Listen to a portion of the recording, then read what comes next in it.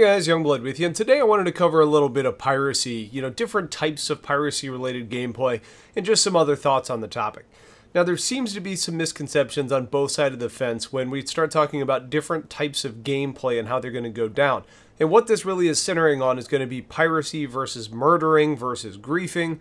Um, and really, piracy at the core is about robbery, which is taking goods from a person through violence or threat of violence.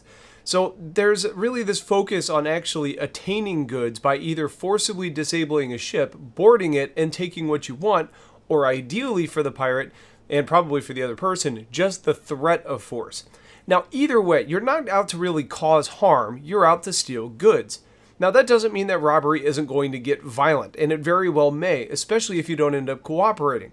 Now, in most instances, I would assume that a real pirate would rather just threaten you, take your goods, and be on their way. Now, there are other factors there to consider, though, like the reputation system that we're going to have in game that's going to apply some different levels to this. You know, if you're able to conduct an act of piracy in totally unmonitored space, murder your victim, and then there aren't any witnesses, which means you don't then become wanted, then you may see things like pirates being more murdery um, and making that more of a practice if there is a reporting option where like a survivor is able to report the robbery to authorities.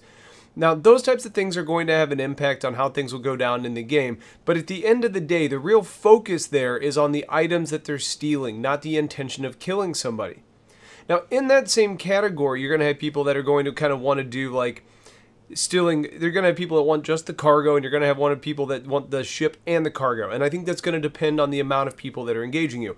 A solo pirate is probably not going to want to steal your ship as well because then they're going to have to leave theirs behind. And chances are they're probably only going to be going after ships um, that they can actually engage and actually probably kill so the value of their own ship may be higher. So it's going to be a little bit more complicated there now, similar to piracy, you're going to have uh, marauding, which is really more about roaming around looking for goods to steal. But those aren't people who are real interested in the violence act. You know, this might be for those who are looking for like unsecured outposts on planets or sneaking into a parked merchantman to grab what they can. That's really more about stealing than violence. Um, but the difference is, is that violence isn't on the table at all.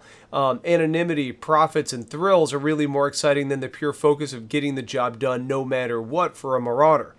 Now, sounding similar to marauding is going to be murdering and headhunting.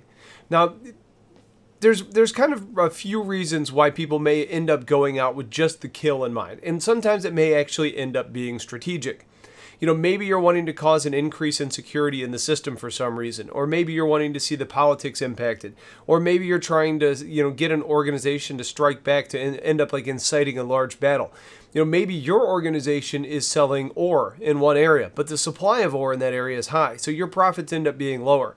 So instead of going to a different system to sell your stuff, maybe you want to keep this as your home base. So then you set out to murder and destroy any ship that's carrying ore in the area, which then is going to drive up demand and profits in that system you know, there's some real reasons why people may take up this kind of strike force mentality to end others' lives. Um, and it may not necessarily just because they want to be a dick. I mean, it might even be that they're just out for revenge based on something you or your organization did in the past. There's motivation behind it. Now, on the other side of that spectrum is griefers, um, and they're out for you know some reason, which I honestly do not understand in the slightest, is because they get enjoyment out of stealing your enjoyment. Now, you're going to be coming across these people, and we're just going to end up having to find ways to deal with them.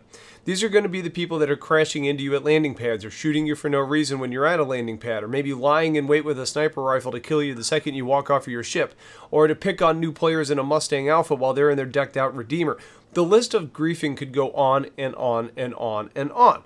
The important thing to take away from that is, though, is that they aren't in it for the gameplay or benefits to their in-game character. They're purely looking to get a reaction out of you and knowing that you're having a better a worse day based on their actions. So with all of that out of the way, I think the important thing to note here is, is that there's some very important distinctions between these types of players, and that piracy in the game does not equal griefing. So whether you like to admit it or not, piracy is an important gameplay direction that has to be present in our universe. You may not like pirates, you may even hate pirates, um, but what they add to the game is a certain level of emergent gameplay, excitement, depth, and it adds to things like the war between good and evil. Uh, it allows for more in depth missions, it allows people with combat in mind to take on a protector role, kind of going in the full escort instead of having to go out and find fights. It allows for things like bounty hunting to be present. It just adds so much depth. I can actually almost appreciate pirates it's really easy to feel like you're being picked on, but it's a part of a much bigger picture to what it means to everybody's overall gameplay. Now, I think when it comes to dealing with pirates, you're going to need to try and identify what type you're going up against as quickly as possible to decide what options you have available. If someone jumps in immediately opens up communications, chances are they're a standard pirate. Unless the message is something kind of trolly, um, then you may end up having a griefer on your hands. Now, you know, one pirate is, you know, like is likely to jump in and say something like, you know, disable your engines and shields and you're gonna and you won't be fired upon. Prepare to be boarded or prepare to be scanned. You know, something like that.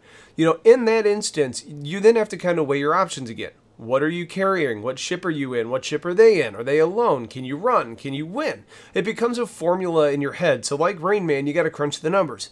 If you can win the fight and their request is unreasonable, take action. You know, if you can outrun them and not take a whole lot of damage, see you later. Get out of dodge. It gets trickier if you're unable to run and unable to win. You know, think about like an Aurora CL versus a Cutlass. You know, you're probably better off talking. You, you know, you may even be able to negotiate depending on the, the type of player that it is that's engaging you to maybe pay less or give up the goods but get escort out of the system, something like that. Um, another way it may go down is that you may just be immediately engaged. And again, it comes down to an analysis of the situation. If they're hitting you with distortion cannons or an EMP, they may just be trying to disable your ship so they can do what they want without your opposition. If this was a marauder, um, I would, or um, you know, if this was a murderer, I guess I would be expecting larger weapons aimed on destroying the ship as opposed to disabling it. So you have to kind of decide what's hitting your hull, what the impact of your ship is, and go from there. Again, if you can't run or win, talk. What are you doing? Why are you shooting me? What are you after? Can we resolve this? It may not work, and you won't fly real well while you're trying to type it all out. But if you're going to lose the fight anyways, see what you can do.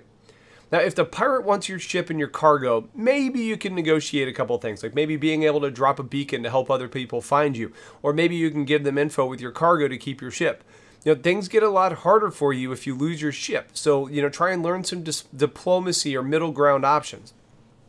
Now, identifying a murderer versus a griefer is going to be tough. They both want you dead, but the reasons are going to be different. But do the reasons really matter? Not really, because chances are they're pretty committed to you dying. So you're either going to fight and you're going to run, um, and you're either going to win or you're going to lose.